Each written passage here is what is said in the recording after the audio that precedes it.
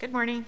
Good morning, Your Honors. My name is Jason Ivey, and I represent the appellant uh, Chad Carter. In this matter, there are two issues on appeal. The first, did the district court err in dismissing the class action allegations without having first considered Mr. Carter's unconscionability argument um, challenging the enforceability of that class action waiver?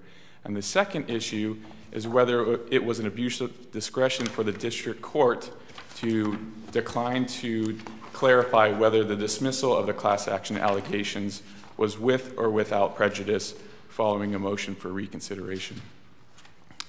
On the first issue, Your Honors, uh, well, essentially, this case um, ultimately is about uh, the, the desire for Mr. Carter to obtain clarification as to whether the district court considered his unconscionability argument challenging the enforceability of the class action waiver, and if that was the case, whether the dismissal of the class action allegations was with or without prejudice. Okay, so you argue in your briefs that the district court did not consider Mr. Carter's unconscionability argument when it ruled the class action waiver is enforceable, right? But if we can decide the question of unconscionability, does it even matter whether the district court gave due consideration to the argument? In other words, regardless of whether the district court gave due consideration to the unconscionability argument, either the class action waiver is enforceable or it's not, and this panel can decide that question, right?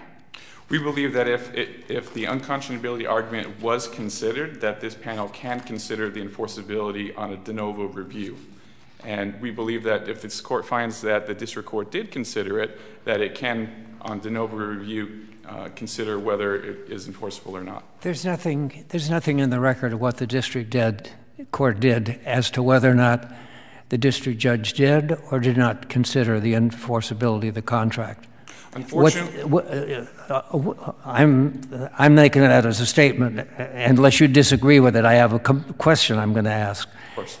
Um, and that's the status of the case right now. Uh, she, what she cited in her rule was Buckeye, and we know now with Justice Scalia's excellent opinion um, that he wants um, arbitration uh, contracts on the same uh, on the same level as any other contract. So we have Buckeye and we have that case. Now, what the district judge did was, accordingly, plaintiff's complaint is dismissed without prejudice. Without prejudice. The, the complaint was dismissed without prejudice, yes. but we were uncertain from the language and following the motion for reconsideration whether the class action allegations yeah. were dismissed with or without prejudice. And she, she said, I've dismissed without prejudice. Now, um, in the federal court, uh, is just hand, hand, this is something we deal with all the time, is jurisdiction issue. And we have no jurisdiction over a case when a judge dismisses without prejudice because the district court still has the case. There's an action underneath every complaint. Until that action is dismissed, we don't have jurisdiction. It seems to me it's just clear as it can be that what the district court did was dismiss without prejudice.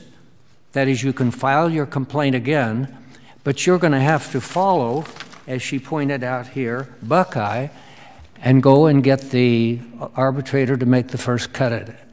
And then you can come back and file again it seemed to me so clear that I didn't understand why we're here on this case. Now, maybe I'm missing something. I'd be happy to address that. Uh, uh Good. I, I would like to be educated. Sure. So, we do not dispute that the initial order dismissed the complaint uh, without prejudice and denied as moot the motion to strike the class allegations and then stayed the matter pending resolution in arbitration. On a motion for reconsideration, the uh, appellee uh, Rent-A-Center wanted to make absolutely certain that Mr. Carter could not assert class claims in arbitration. And so on motion for reconsideration, the district judge said, yes, I'm eliminating the class action allegations. I'm sending this to arbitration on an individual basis only. And because of language such as eliminated the class claims, and even after we asked for clarification, the district judge did not say whether it was with or without prejudice. We were concerned that it was if it was with prejudice, even if the arbitrator were to find that the agreement is void and therefore unenforceable, we would still be foreclosed from arguing class claims if we went back to the district court. Now, I don't know where the district court said that. I've read the district court's orders. Are you quoting the district court?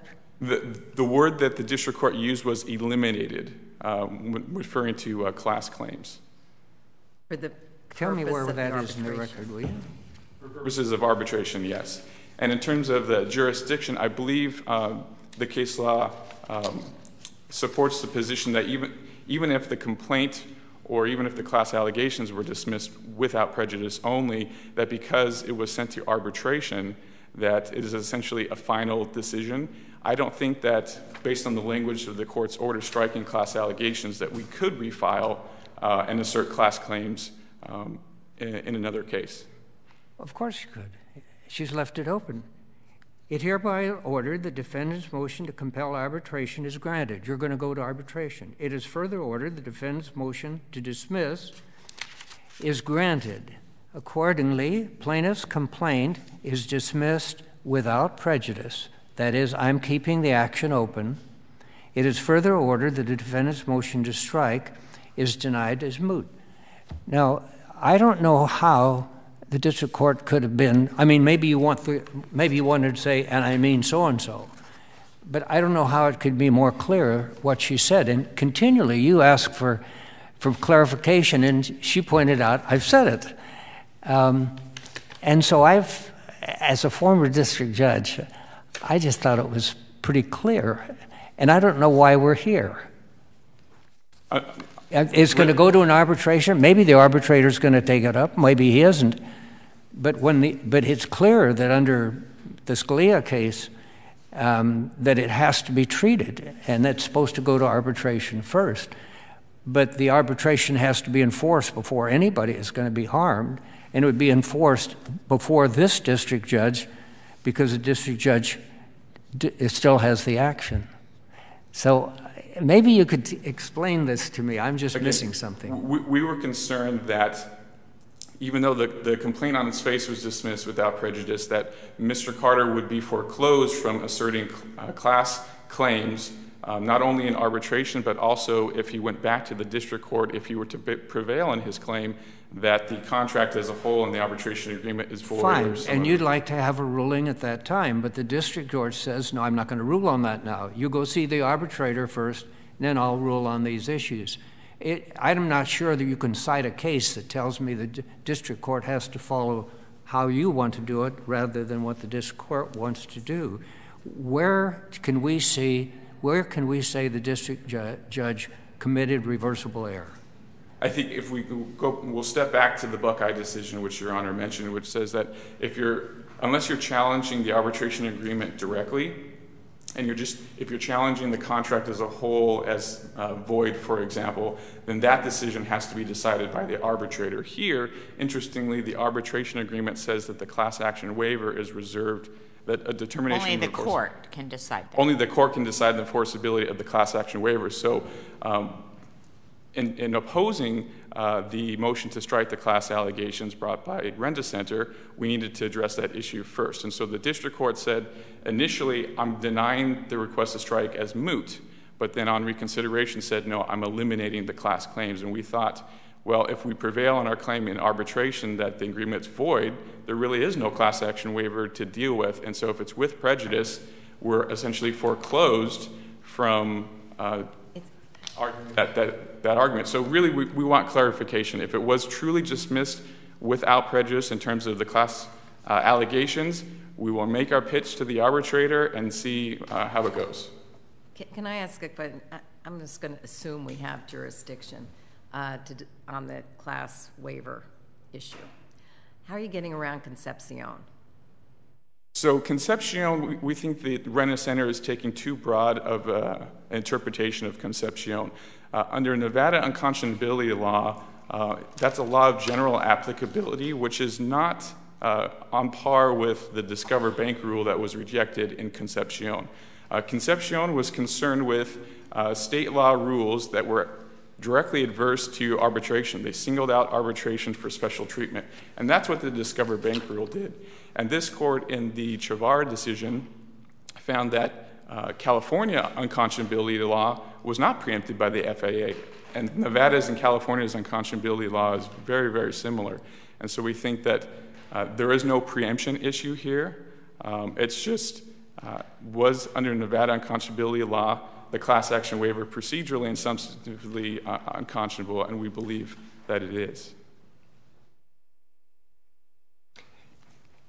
So, if I understand, you you feel home free if you realize that the district that, that the uh, arbitrator is going to have the first cut at it. Everybody's in agreement with that. It's got to go to arbitration. That the arbitrator may decide the case for you, but either way, the district court is waiting for the arbitration result and would make the ultimate decision on the facts. If the arbitrator were to find that, well, the, You're the district judge- individually going, you're, the class isn't going to the arbitrator. Right, so it's individual claims right now only, but if we, the arbitrator were to decide that the arbitration agreement is unenforceable, then there is no class waiver issue, and so we'd have to go back to the district judge, and the district judge would say, okay, well, I need, either now have to reconsider my uh, opinion, or you're foreclosed from arguing it because I previously decided this issue. He didn't stay it, he dismissed, right? So you would have, so the district judge would have to say, okay, you're back, now what? Um, You fight, you know, you, you start the case again, right? E- Essentially, yes. And so, um, it, going back to the very beginning, if unconscionability was actually decided, and again, we think it, it, was, it wasn't ruled upon because I think what the district court ju- judge did was uh, accept the defendant's, uh, Center's argument that post Concepcion, you can never bring a unconscionability challenge to a class action waiver, and we disagree with that. Um, that we, we cite a number of cases which uh, support that unconscionability law under California and even Nevada is not preempted by the FAA, so we're not f- foreclosed from that argument. We're bringing a case, a case uh, fact specific argument that this particular class action waiver is procedurally and substantively unconscionable. So if the district court did consider that argument, we think that it should be reversed uh, by this court uh, because it is unconscionable, and then um, essentially the arbitrator will now decide whether class claims can proceed in arbitration. Of course, Well, I've, I, I got the argument that um, you brought it up three times, so the district judge might have decided it. I think bringing it up three times and the district judge didn't change the opinion. I, I don't see where the district judge has made any decisions on this case to the merits. I, I think, again, that the district court didn't look to unconscionability because the district court thought that post Concepcion, you just can't bring a class action waiver challenge under unconscionability law. And I see that my time has expired. it hasn't. You I- still have, have a two couple of minutes. minutes, so I'd like you to want to reserve save that for rebuttal? Two for rebuttal, if I may.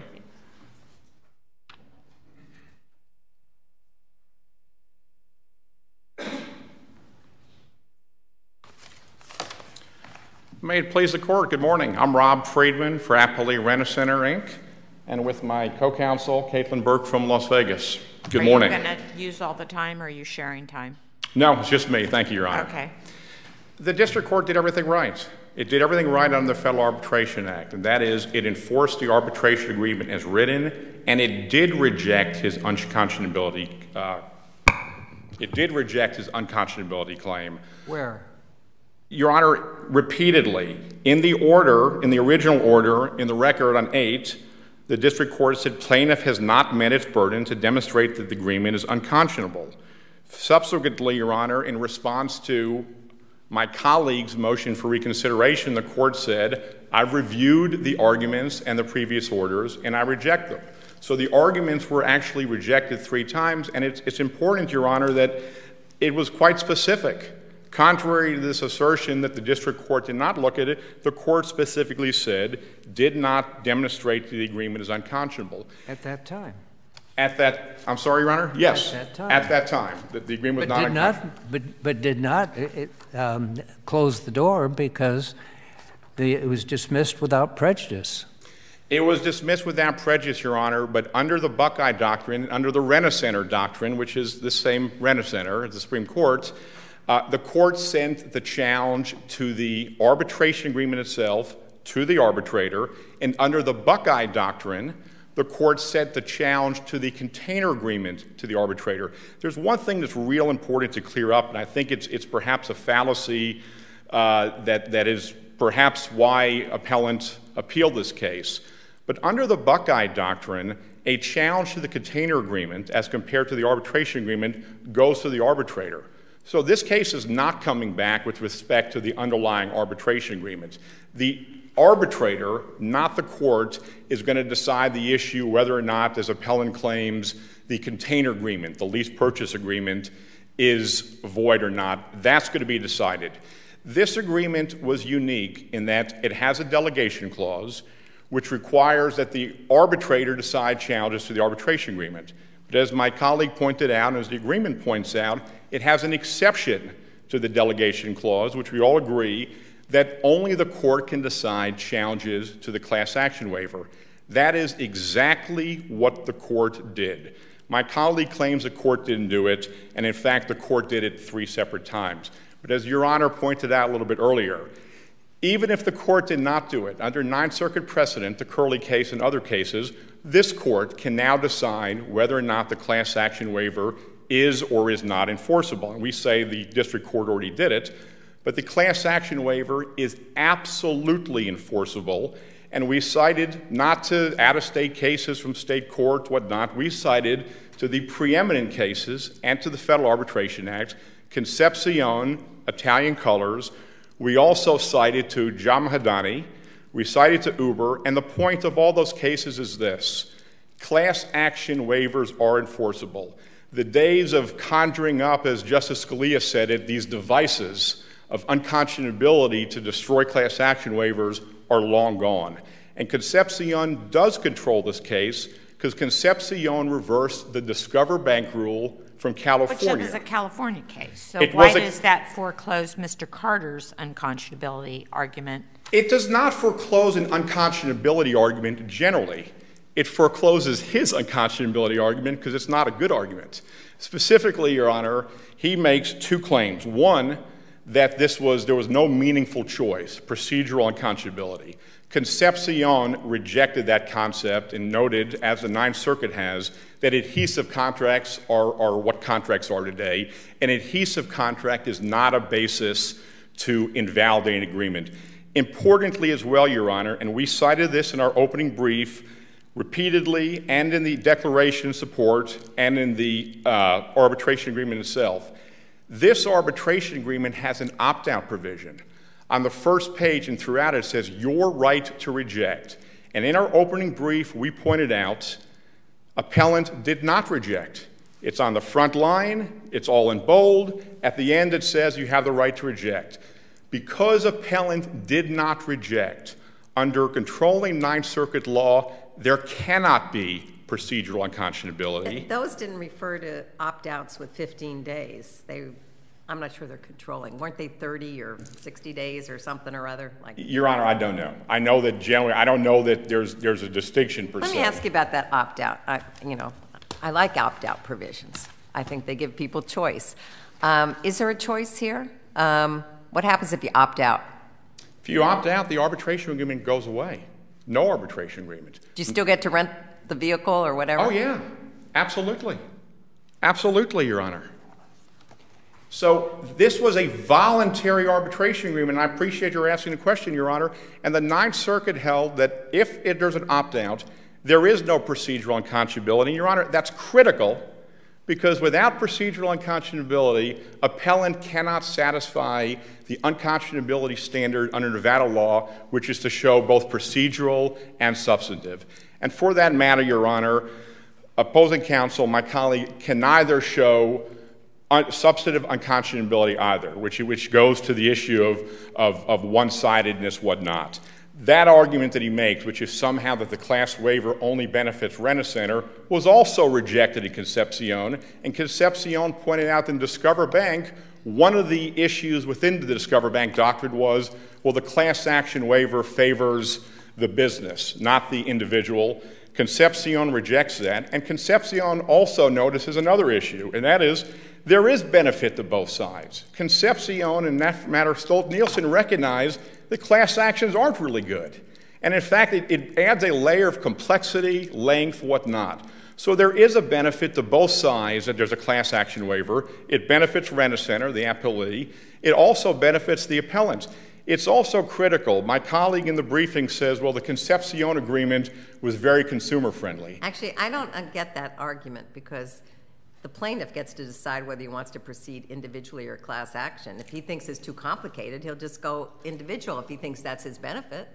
Your Honor, that's correct. The plaintiff can decide. But the idea of a mutual class action waiver has benefits to both sides, which was recognized in Concepcion. It was also recognized in Stolt Nielsen. Both cases recognize that bilateral arbitration, not class arbitration, is a good thing. Your Honor, my, my colleague references the many cases he cites that support his position.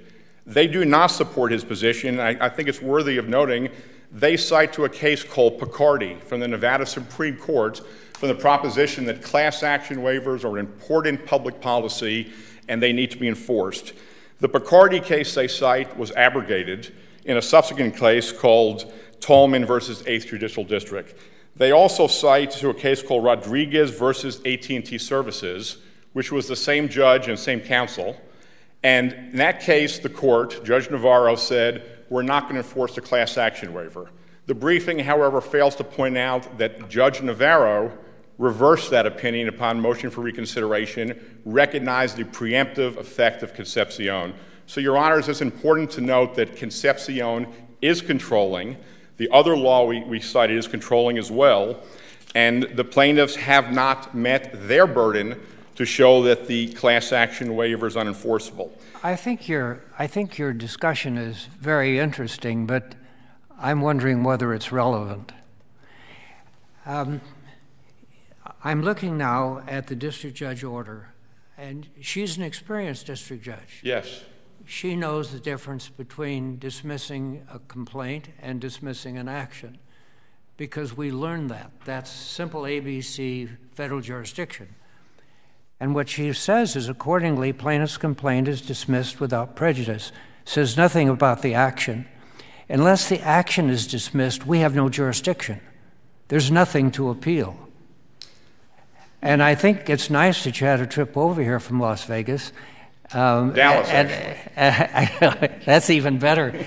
Um, and this is all very interesting, but I wonder if it's relevant to the decision if, in fact, uh, you, you can show me someplace in the record where this has been dismissed with prejudice or that the court, as they usually do, enters an order dismissing the action.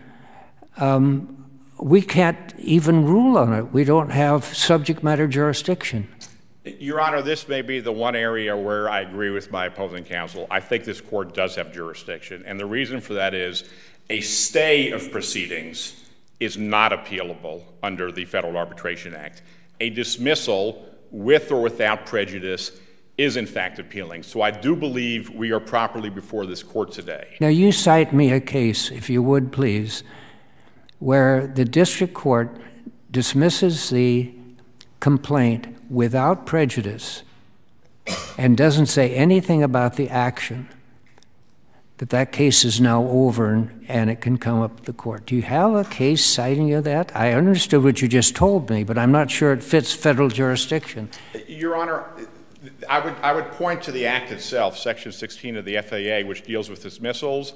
And while I can't, as we sit here, point exactly to a case, I believe in Mohamed versus Uber, and I believe in other Ninth Circuit cases that have been before this court. It got to this court based on, or perhaps not Mohamed, because in Mohamed uh, the business lost. But in cases where the appellant, the individual, has appealed, I believe in most of those instances there was a dismissal without prejudice. And the Ninth Circuit uh, has, has ruled, as have, I believe, all the circuits, that a dismissal without prejudice does fall within the proper grounds for appeal uh, under the Federal Arbitration. We have granted, we have had some rather strange opinions saying that we interpret the district court as granting a uh, and a dismissal of the action. We have gone that far. I happen to disagree with it. I think you either have jurisdiction or you don't. But in this case, it's clear that that is not what she wants to do. What she wants to do is to hold the case off while it goes to arbitration, have the arbitration come back to her, then send it up to the Ninth Circuit. That's clear to me in the, in the record. So I don't think we can use the fudging cases, which I call them fudging cases, to overcome our jurisdiction. And this is serious because unless it's there, we can't give you an answer. We have no jurisdiction, we have no subject matter. Your Honor, I think what the court did was it sent the attack on the arbitration agreement itself to the arbitrator, as it had to do under Rent-A-Center West versus Jackson and, and Buckeye. Mm-hmm. With respect to the without prejudice, the only way for them to get back to the district court is if the arbitrator determines that the arbitration agreement itself is unenforceable. If the arbitrator determines that the, the underlying rental purchase agreement, the container agreement, is void, that's decided, and that's, that's a case that's going to be before the arbitrator. So I agree, Your Honor, that the court held it open, but only in the very limited hypothetical circumstances where the arbitrator decides that the arbitration agreement is somehow unenforceable. I don't know how they would ever be able to show that in court or otherwise. So Well, are- that's right. That's when it would come back to district court. But she's holding things open so she can start from there. It seems to me that's what her motive is. Your Honor, she already ruled that the class action waiver was enforceable, and that was solidly before her pursuant to the language of the arbitration agreement. So your position, just so that, is that that, they can't revisit that? The only way that would be revisited is if the arbitration, the arbitrator decided the whole arbitration agreement, not the container agreement, if the arbitrator, and I'm not even sure if they ever made that argument, by the way, that it was unenforceable, but if the arbitrator decided that the arbitration agreement was unenforceable, then it would come back. Otherwise, nothing's coming back. The arbitrator, the judge, made the decision that was before her, which is it's for the court to decide whether the class action waiver is enforceable. Judge Navarro said it is enforceable. I'm making that decision. And then I'm sending the rest of it to the arbitrator for disposition by the arbitrator. All right, so your argument is because she decided that the class action waiver was, in, was enforceable, that contained within that, while she didn't say it specifically, she said she was ruling on the unconscionability argument of the class action waiver. She, she was, Your Honor, and in fact, the, the language we've cited to the court and in the original order, plaintiff said, the judge said plaintiff has not met its burden to demonstrate that the agreement is unconscionable. Yes, Your Honor, to be very clear, Judge Navarro decided that the class action waiver was not unconscionable and was enforceable. It was their burden to try to show that it was unconscionable, and they failed to meet their burden. What's the page of the record where she made that specific ruling? Uh, ER 008, Your Honor. Plaintiff has not met its burden to demonstrate that the agreement is unconscionable. Subsequently, Your Honor, in the order on our motion for reconsideration, where we asked the court to clarify exactly what it was doing, and the court did clarify, that's ER 002. Yeah, I read that one. She, she said, I already made my decision.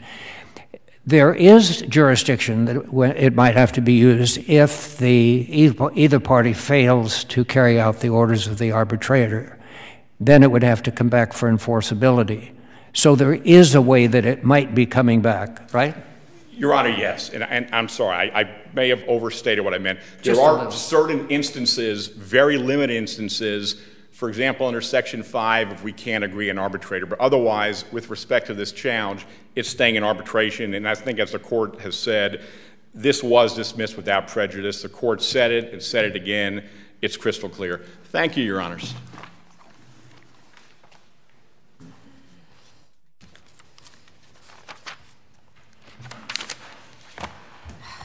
Your Honors, I've taken a, a second look at that page uh, of the Order 008, and I don't see the word unconscionability. What I, how I do read the order is saying, having concluded that plaintiff has failed to meet its burden of demonstrating that the arbitration agreement, which is incorporated in, in the lease purchase agreement, is unenforceable.